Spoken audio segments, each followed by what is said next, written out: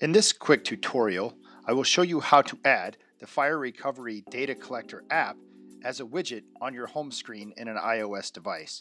First, start by launching your Safari browser. In the address bar, type in the recoveryhub.com forward slash app therecoveryhub.com forward slash app. This will take you to the Recovery Hub Data Collector login page.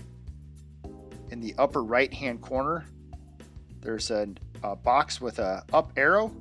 Go ahead and click that. Across the bottom of your device, scroll over, click Add to Home Screen.